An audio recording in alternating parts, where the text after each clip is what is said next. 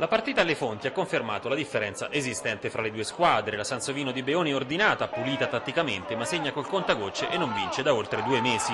L'Arezzo è in salute, ha individualità di spicco e segna a raffica anche quando, per un motivo o per l'altro, non gioca bene. Il 4-1 finale con cui gli Amaranto hanno maramaldeggiato è frutto di una superiorità piuttosto nitida e di qualche episodio che ha girato per il verso giusto. Sull'1-0 di Crescenzo, Esposito è stato tradito dal rimbalzo e forse dal vento. Poi Squarcialupi, subentrato proprio Esposito infortunato, si è fatto cacciare dopo 4 minuti, lasciando la squadra in 10 e con un portiere improvvisato. Per l'Arezzo a quel punto è stato un gioco da ragazzi chiudere la contesa, facendo passare in cavalleria una qualità di manovra non proprio da applausi, ma su un terreno sconnesso e contro un avversario chiuso a riccio, fare di più era impossibile. A prescindere da come andrà a finire il campionato, ci sono alcuni fermo immagini che resteranno impressi nella memoria. Il primo tempo all'esordio di Città di Castello, la prestazione di Martinez a Zagarolo, il gol dei mille significati di Raso a San Sepolcro, la paratona di Bucchi con le Deruta e adesso all'elenco si può aggiungere pure il gol di Sissé a Monte San Savino.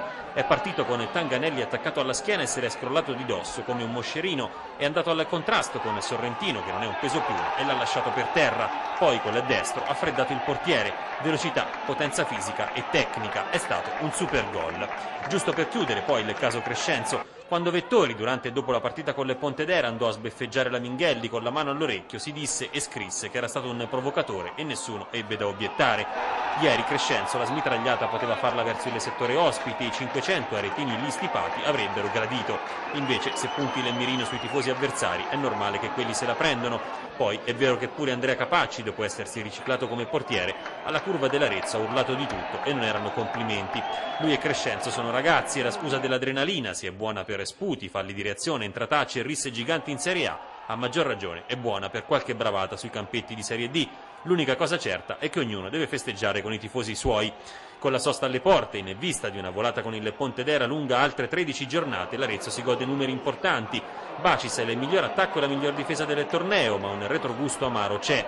La capolista resta più 4 nel distacco che dall'inizio del girone di ritorno non si è sgretolato nemmeno un po'.